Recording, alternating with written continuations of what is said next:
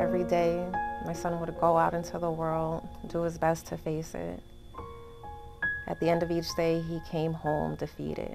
Before I started bringing my care, I was kind of feeling hopeless. Like there was nothing out there. There was nobody out there that really cared. I didn't have anybody. I was honestly like really angry at the time. I was like angry like everything was angry that I didn't have the resources for myself. I was talking about needing help with food, needing help with moving, and that was the right place I was direct to was SunServe. I sought services from SunServe um, basically because I was coming out. That was something that I wasn't sure I was ever going to be able to do. SunServe was recommended to my family by my son's school social worker. And at this point, it, it's, it's been day and night. He's no longer in a shell. He's no longer in a place where he feels as if he's alone. While working in the Sunshine Pride House, an overwhelming amount of youth has said the same thing. I've hit rock bottom and I don't know where to go, I don't know what to do. But with the help of SunServe, the Sunshine Pride House is more than just a shelter. It's a safe haven for our youth. Nothing brings me more joy than to see these youth attain their goals and be well equipped for the next chapter of their life. After I did join SunServe, I realized like, wow, like I do have people to connect with. And it really did help me like um, be okay with my identity and be like, it's okay to feel this way. It's just the way that you are.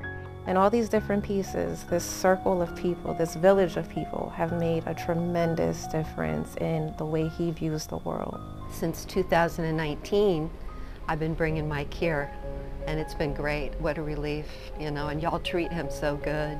Um, he comes home happy, happier than when he stays with me all day. So it's really been a blessing and I really thank you. It took me about 39 years before I was able to come out and able to be myself.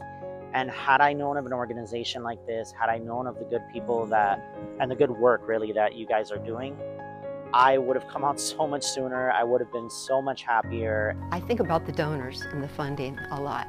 And I think what a kind thing to do for people that they don't really know, you know, but something's in them moving them to do this for, for people like that come here.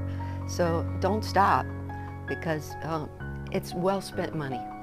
I don't know where I'd be if I didn't have SunServe and all the services they have, and I'm super eternally grateful for that. I wanted to thank those who've donated. I wanted to thank those who've shared their words of encouragement um, and who've really supported SunServe throughout the years. You guys are changing lives. On behalf of the youth, the SunServe team, and the Sunshine Pride House, we really appreciate your support. Thank you so much. SunServe will never turn their back on you. They will listen. They got so much joy and love to give to anybody who having such a bad struggle in their life. I see the difference in my kid. I see the difference in the way he looks at life and the way he's planning for his future. To everyone here this evening, I'd like to thank you from the bottom of my heart for your generosity. Our families, our SunServe families, could not do it without you. Thank you.